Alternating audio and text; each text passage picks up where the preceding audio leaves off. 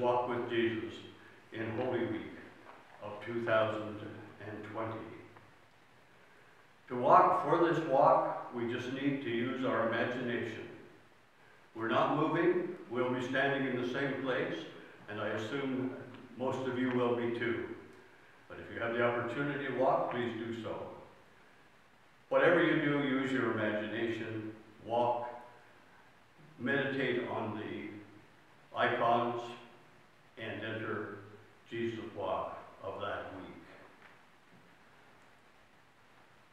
In the name of the Father, and of the Son, and of the Holy Spirit, Amen. Lord, have mercy. Christ have mercy. Lord, have mercy.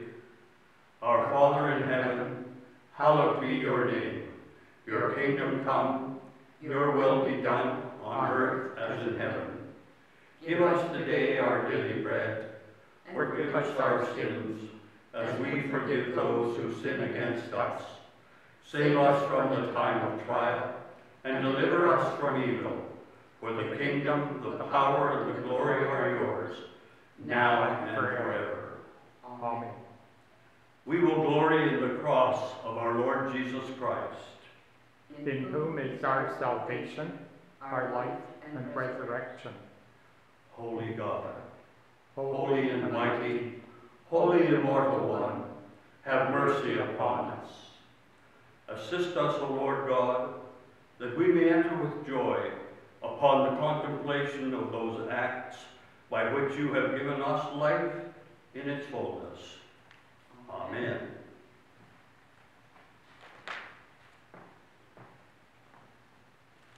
Our first stop on the walk is the Last Supper.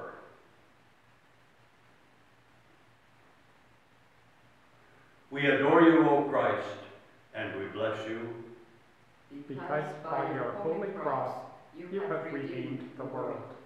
Holy God, holy and mighty, holy immortal one, have mercy upon us. When the hour came, Jesus took his place at the table and the apostles with him. He said to them, I have eagerly desired to eat this Passover with you before I suffer. For I tell you, I will not eat it until it is fulfilled in the kingdom of God. Then he took a cup, and after giving thanks, he said, Take this and divide it among yourselves. For I tell you that from now on I will not drink the fruit of the vine until the kingdom of God comes. Then he took a loaf of bread, and when he had given thanks, he broke it and gave it to them, saying, This is my body, which is given for you. Do this in remembrance of me. And he did the same with the cup after supper, saying, This cup that is poured out for you is the new covenant in my blood.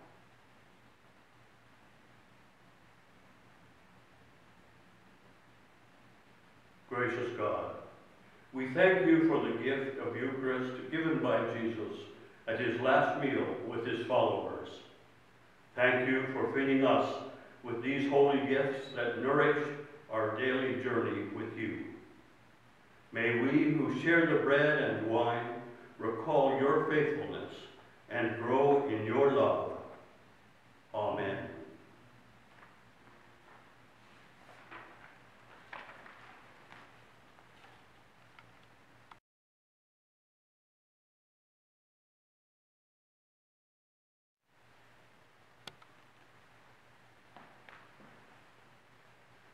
After dinner, we go to the Garden of Gethsemane. We adore you, O Christ, and we bless you. Because by your holy cross you have redeemed the world. Holy God, holy and mighty, holy and immortal one, have mercy upon us. Then Jesus went with them to a place called Gethsemane.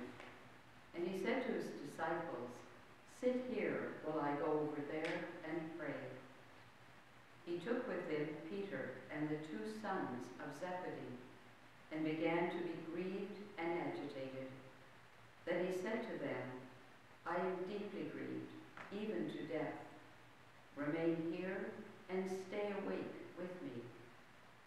After going a little farther, he threw himself on the ground and prayed, My Father, if it is possible, let this cup pass from me.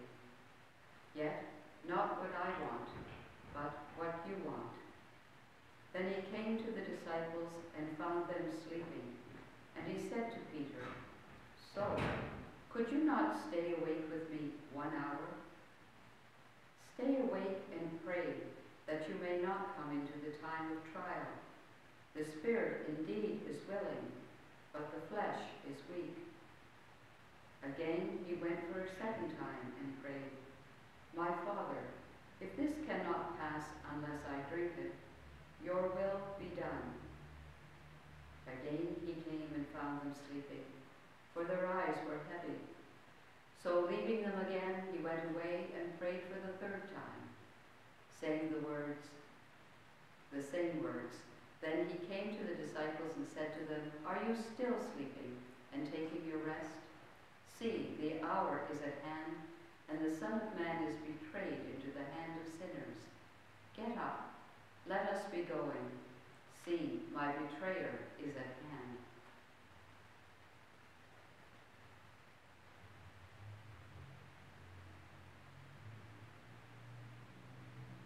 Loving God, we watch your Son, Jesus, as he prays in agony in the garden. Support us in our watch with you. Make us your channels of comfort and strength in the midst of a suffering world. Keep us ever awake to your abiding presence in our daily living. Amen.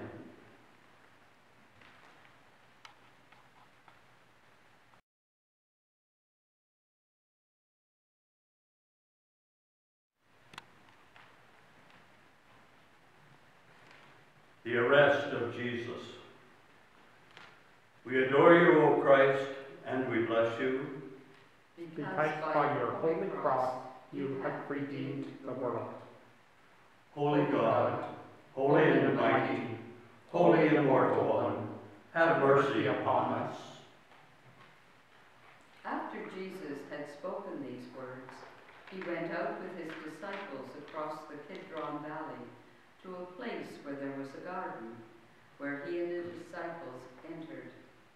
Now Judas, who betrayed him, also knew the place, because Jesus often met there with his disciples.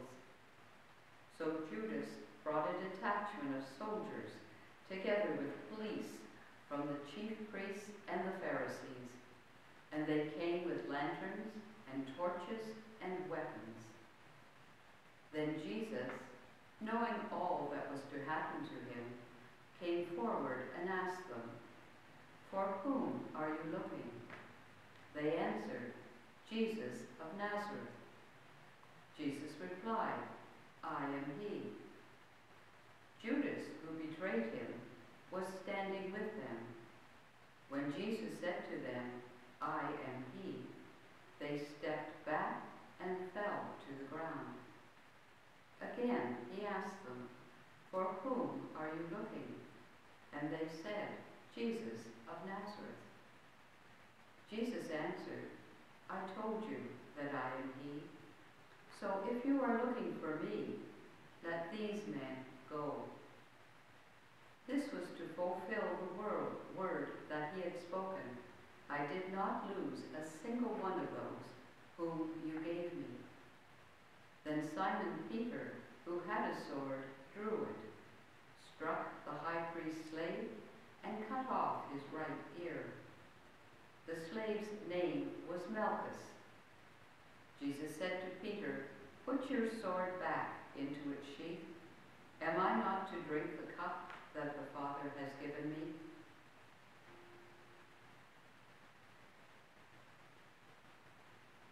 God of love, we have betrayed others and we have been betrayed.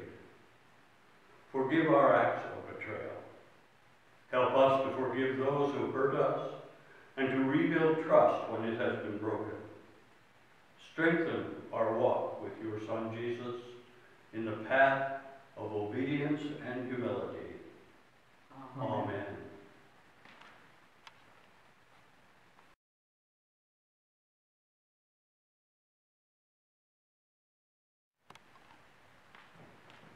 Peter's denial. We adore you, O Christ, and we bless you. Because by your Holy Cross, you have redeemed the world. Holy God, holy and mighty, holy immortal one, have mercy upon us. Those who had arrested Jesus took him to Caiaphas, the high priest, in whose house the scribes and the elders had gathered. But Peter was following him at a distance, as far as the courtyard of the high priest. And going inside, he sat with the guards in order to see how this would end.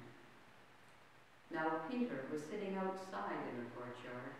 A servant girl came to him and said, You also were with this Jesus, the Galilean.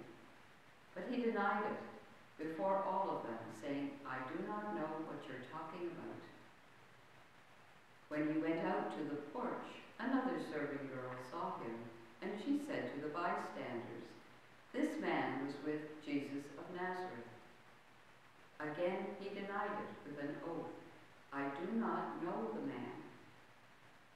After a while, the bystanders came up and said to Peter, Certainly, you are also one of them, for your accent betrays you.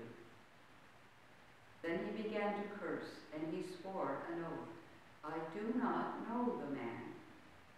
At that moment, the cock crowed.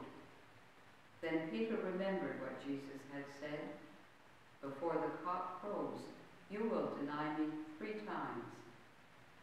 And he went out and wept bitterly.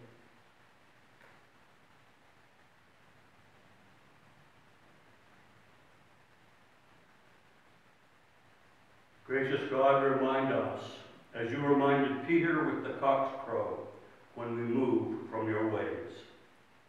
By your embrace, hold us to the path of faith.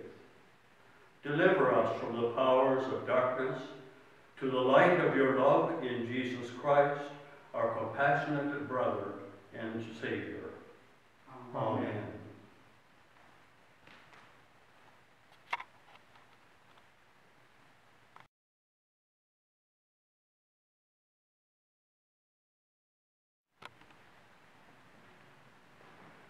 The trial of Jesus.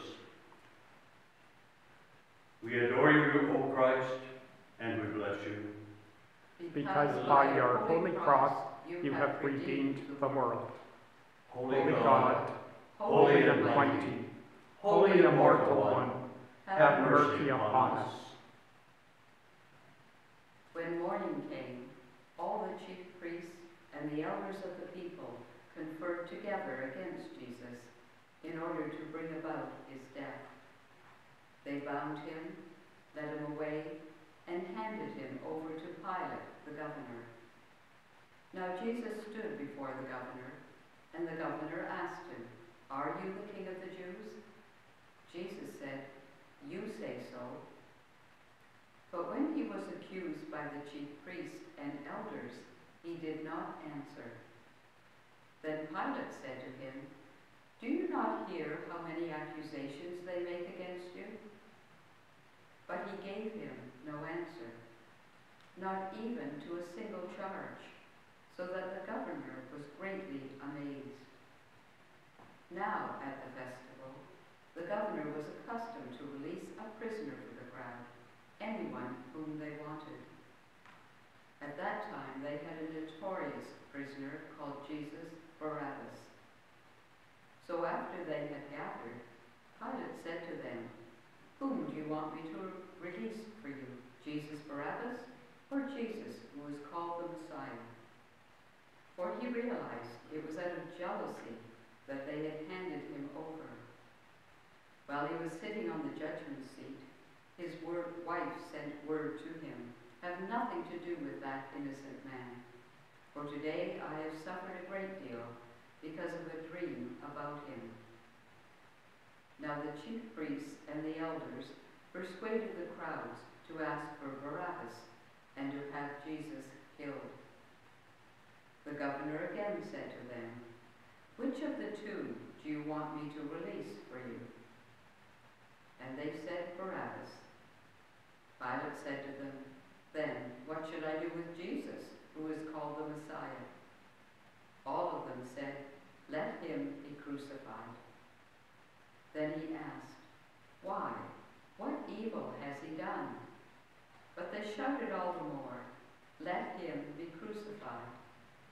So when Pilate saw that he could do nothing, but rather that a riot was beginning, he took some water and washed his hands before the crowd, saying, I am innocent of this man's blood. See to it yourselves. Then the people as a whole answered, His blood be on us and on our children.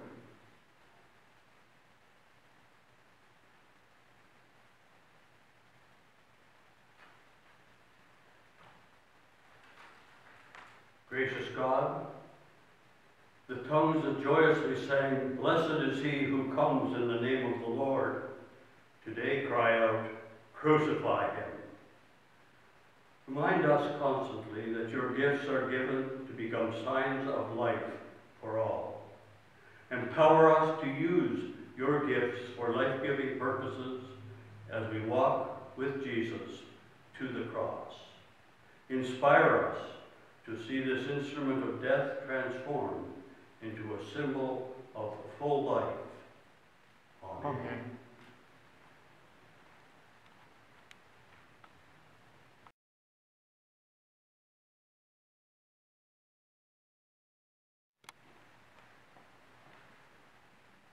Mocking Jesus. We adore you, O Christ, and we bless you. Because by your holy cross you have redeemed the world. Holy God, holy and mighty, holy and immortal one, have mercy upon us. Then the soldiers of the governor took Jesus into the governor's headquarters, and they gathered the whole cohort around him. They stripped him and put on a scarlet robe on him, and after twisting some thorns into a crown, they put it on his head. They put a reed in his right hand, and knelt before him and mocked him, saying, Hail, King of the Jews! They spat on him and took the reed and struck him on the head.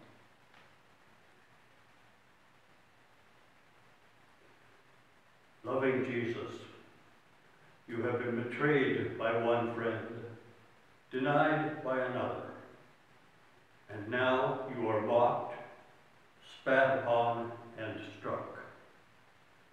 Forgive us for our times we have dishonored and offended you. Equip us to speak and live as models of your goodness, and hold us at the center of your serenity in this troubled world. Amen.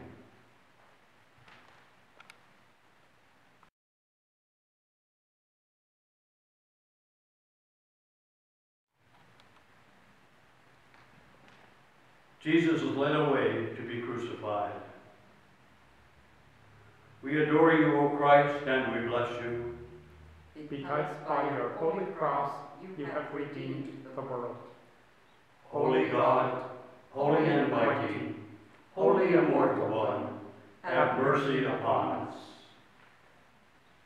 As they led him away, they seized a man, Simon of Cyrene, who was coming from the country.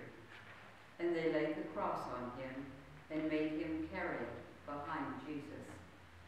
A great number of people followed him, and among them were women who were beating their breasts and wailing for him.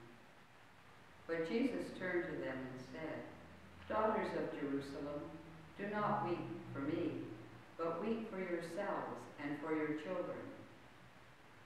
Two others also, who were criminals, were led away to be put to death with him.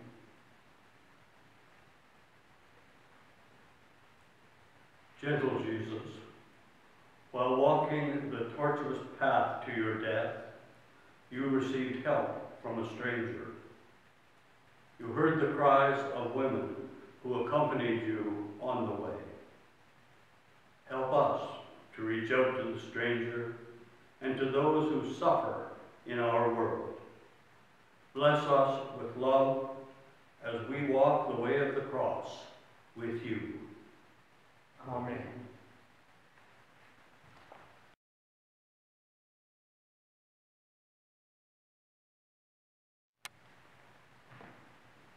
Jesus is crucified.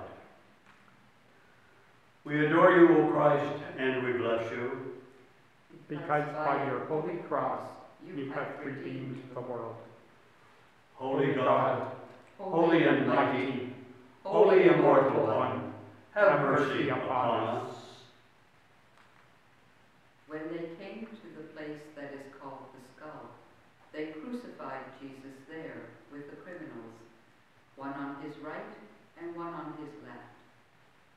Then Jesus said, Father, forgive them, for they do not know what they are doing. And they cast lots to divide his clothing.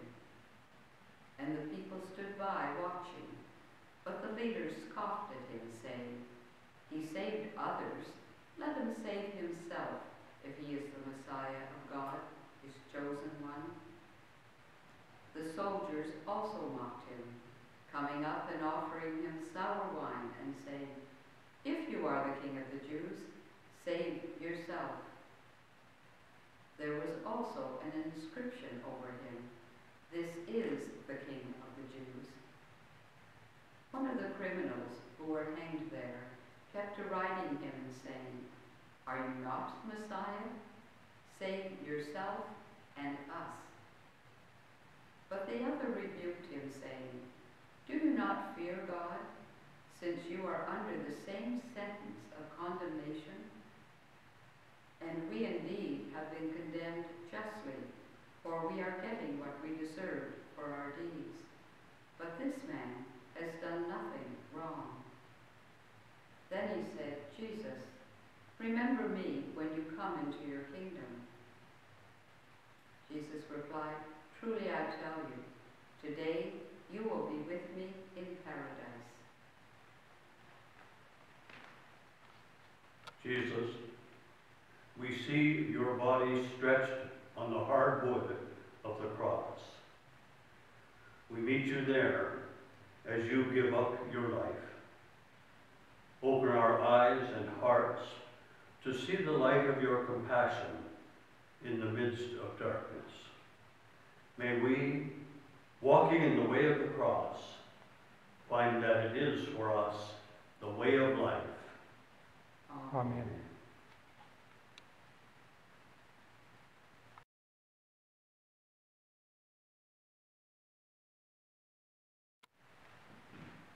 Jesus dies.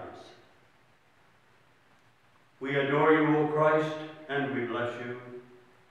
Because by your holy cross you have redeemed the world. Holy God, holy and mighty, holy immortal one, have mercy upon us. From noon on, darkness came over the whole land until three in the afternoon.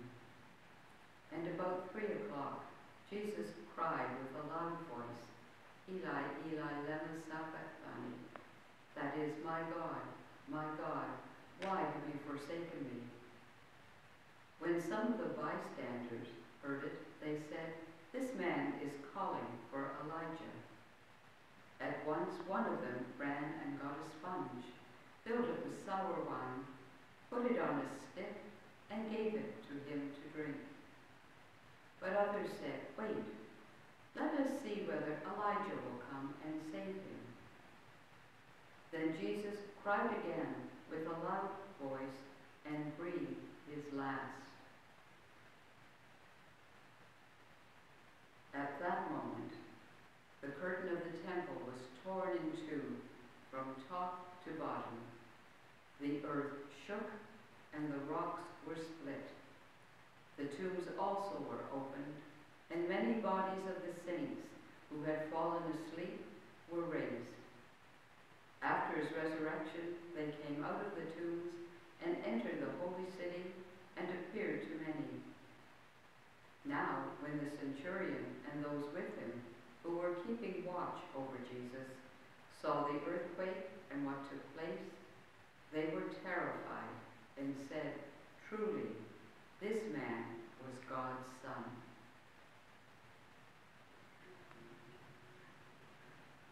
We watch with you during these final moments as life slips from each limb. With a final cry, you breathe your last. It is finished. We quietly rejoice to be with you and to know that the love that surpasses all understanding. Amen. Amen.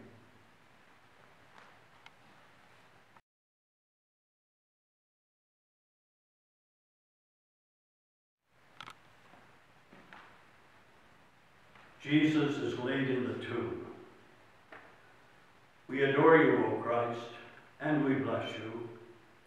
Because by your holy cross you have redeemed the world.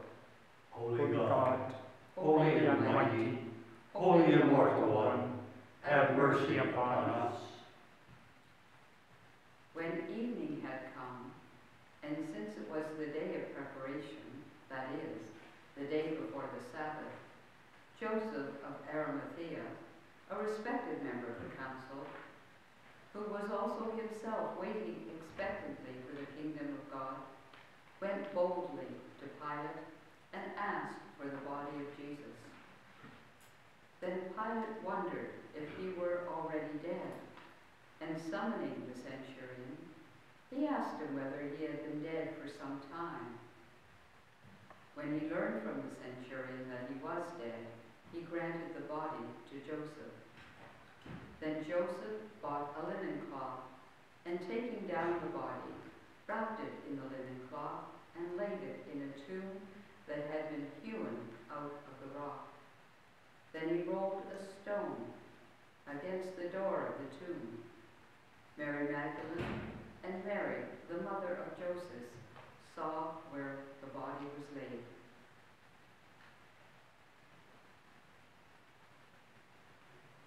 Lord Jesus, now the road has led to the grave where you are lovingly laid.